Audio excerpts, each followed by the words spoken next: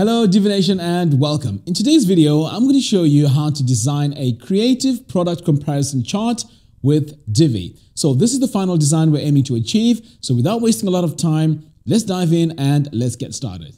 Okay, so before we begin, let's go through the things that we need in order for us to achieve our design. So first of all, we're going to need Divi installed, and then we're also going to need two images. So these images will work as the two images or the two products that we're trying to compare.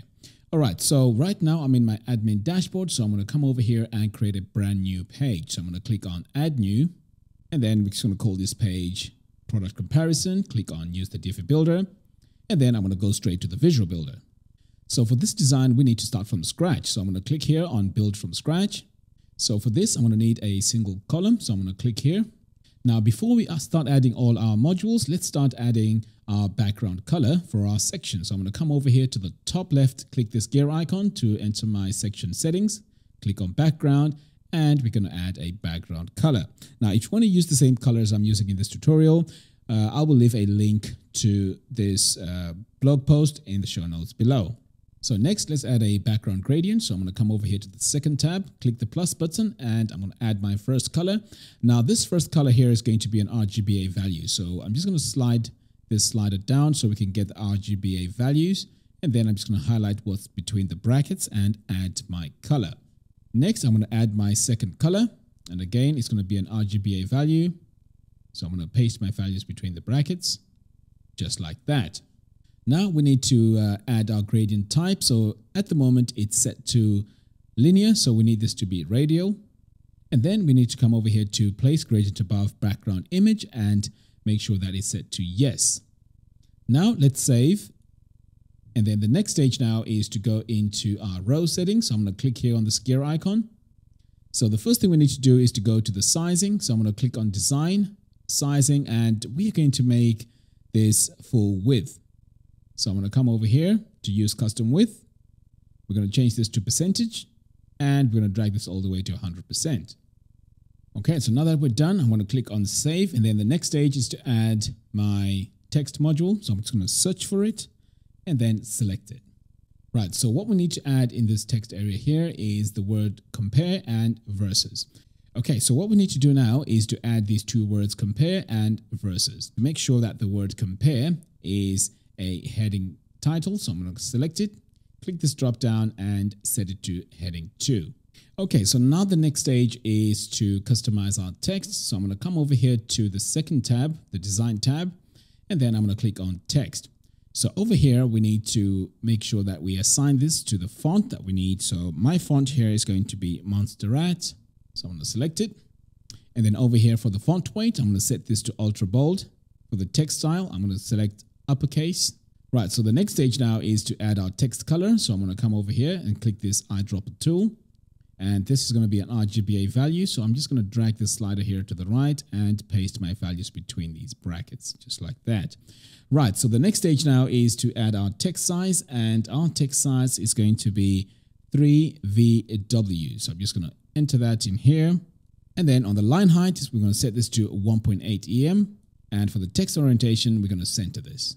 Right, so the next stage now is to adjust our heading 2. So I'm going to come back over here, go to my heading text, select heading 2, and our font here is set correctly, so that's fine. So let's go to our text size. So over here on the heading uh, heading 2 text size, I'm going to set this to 13 VW. The letter spacing needs to be set to 1 VW. Next, let's add our text color. So I'm going to click this eyedropper tool and this again is going to be an RGBA value. So I'm just going to drag it down a little bit and then paste my values between the brackets. And by the way, if you want to use this, the exact same values as I'm using in this tutorial, I will leave a link in the description below so you can go directly to the post. Right, so over here on our heading 2 font weight, I'm going to set this to light. Right, so the next stage we're going to do now is to add uh, margins. So I'm going to search for custom margins. So I'm just going to search for it here to make it easier for me to find it. Okay, so I'm going to search for margin. So the margin that we need to add is the margin at the bottom. So I'm going to add minus 13. Okay, so we're done with this. I'm going to click on save. And then the next stage now is to duplicate this row. So I'm going to come over here, duplicate it. And what we need to do is to delete what's inside here like that. And then in the actual row, we need to change the structure. And for this, we're going to need two equal columns. So now we need to update uh, the rows. So I'm going to click here on this gear icon to enter my row settings. So the first thing we need to do is to adjust our gutter width. So I'm going to click on design, spacing, sizing, and then I'm going to come over here to my gutter width and set this to one. Next, we're going to add us, uh, we're going to add some padding. So I'm going to come over here to spacing and we need column one custom padding to be set to 2 VW. So I'm going to add my padding to the right and for column two, I'm going to add this to the left. So this is where we're going to add our images. So for now, let's save and then we're going to add our images. So I'm going to click this plus button and add my image module. I'm going to select it and I have my image loaded up in my media library. So I'm just going to delete this image here and click this plus button, click on my media library, and these are where my images are. So I'm going to click my first image, click upload an image. Next, we're going to come over here to design, alignment, and we're going to set this to right. Next, we're going to come over here to sizing, and we're going to set this to about 70%. And we are going to align this module to the right. Right, so the next thing we need to do now is to add some, um, some padding to the bottom. So I'm going to click here on spacing. And for our custom padding bottom, I'm going to add 40 pixels.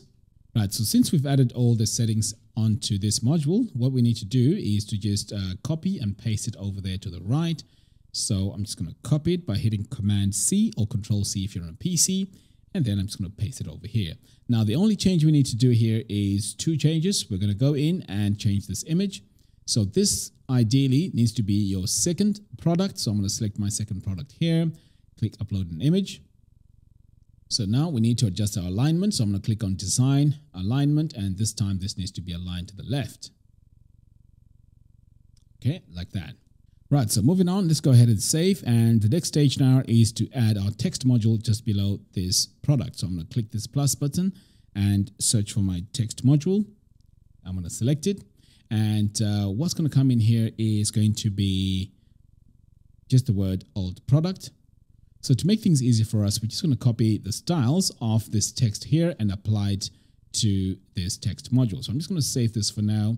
And then I'm going to um, click on the module settings, design. I'm going to right click and copy text styles. I'm going to close that. And then over here, I just need to right click and paste the text styles just like that. Right, so all we need to do now is to go back in and adjust our text size. So I'm going to click here on design, text, and we're going to set this to 16 pixels. And for the text orientation, we're going to set this to right. And then now we need to go into the advanced tab and add some custom CSS to the main element. So this is the, uh, the CSS we need to add. And um, if you need this uh, CSS, it can be found on the post, which I'll link to in the show notes below. All right, so with that done, I'm going to click on save. And then the next stage now is to copy this text module and paste it on the right. So I'm going to hit Command C or Control C on a PC. And then I'm going to hit Command V on a Mac or Control V on a PC. So I'm going to click here on this gear icon to go into my settings and then we're going to change our orientation to left. So I'm going to click here on uh, design text and then I'm going to search for my text orientation. Set this to left. And then over here on the advanced tab, custom CSS, our text align needs to be set to left. Oh, and before I forget, we need to go back over here into our content tab. And uh, as you can see, this is set to old product. So this needs to be set to new product. Great. So once we've uh, once we're done with that, we can now go ahead and save. So now it's time to create the product comparison chart. Right, so let's start off by adding our row. So I'm going to click this plus button and we're going to need two columns for this. So I'm going to click on two columns. So before I add my modules, let's go ahead and customize our row. So I'm going to click on the row settings and let's go to custom width. So over here on sizing, we're going to click on use custom width and set this to 100%. Next, we're going to come over here to use gutter width and set this to 1. Right, so we want to add uh, some padding, uh, but this needs to be added to the bottom. So I'm going to come over here to spacing. And for our custom padding, we're going to add 0 to the bottom. And for our column 1 custom padding, we're going to add 2 VW to the right. And for column 2 custom padding, we're going to add 2 VW to the left. Right, so for now, let's go ahead and save. And then in the, left column, in the left column here, we're going to add a divider module. So I'm going to search for divider, select it. We're going to click on background and we're going to add a background gradient color. So for our gradient, we're going to click this uh, second tab, click the plus button and I'm going to add my first color. Now my first color is going to be an RGBA value. So I'm going to add my values between the brackets like that. I'm going to add my second color. Again, this is going to be an RGBA value. Paste my value between the brackets. So on the gradient direction, we're going to set this to 90 degrees. Our start position is going to be at 35%.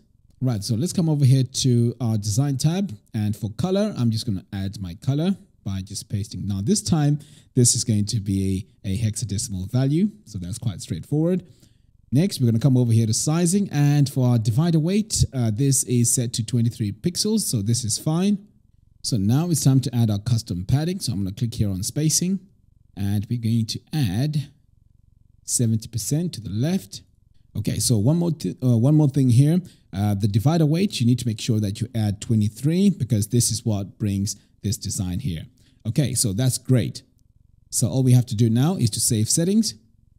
So now we're going to copy this, uh, this design here and add it over here to the right. So this just saves us, saves us uh, time to make all these uh, changes. So I'm going to click here on my module settings and make a few customizations.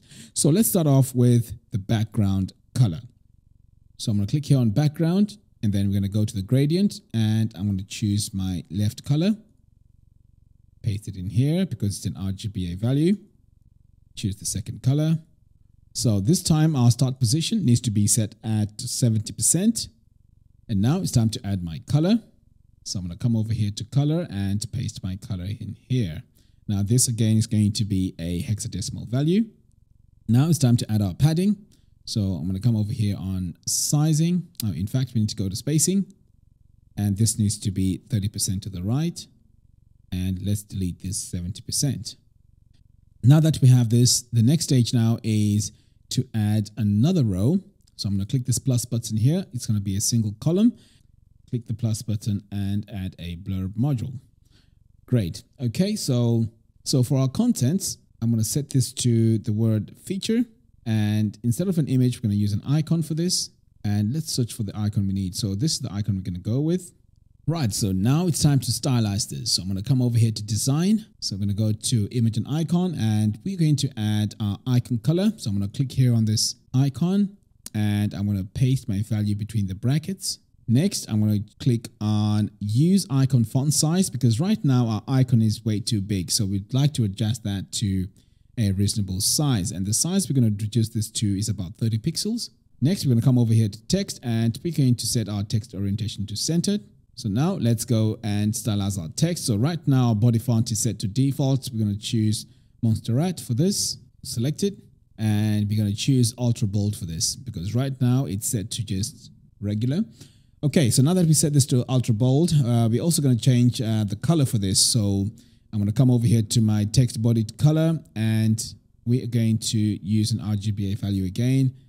So I'm going to paste my value between the brackets, just like that.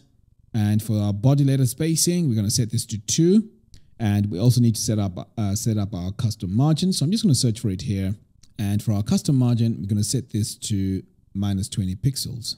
Great. So there's one thing that I also forgot here, and that is uh, this text here, which says our title is not supposed to be there. So I'm just going to go back to my content area, click on text, and we're going to get rid of this title text here. So right now we can see that this icon and this text, we have uh, quite a bit of space between that. So in order for us to fix that, we need to add some CSS. Uh, so I'm going to click on this on this advanced tab, click on custom CSS, and on blurb image, this is where we're going to add our CSS code. So I'm just going to enter it there. And now you can see that the space now has been reduced because I've just added margin bottom to the blurb image. So now that we have the basic layout, all we have to do now is to duplicate all these until you have the amount of comparisons that you need. Right, so what we need to duplicate here are the rows. So I'm just going to do one example and then you can go ahead and do the rest. So I've just done that. And then I'm also going to do another duplication here. And then I'm just going to drag this into position.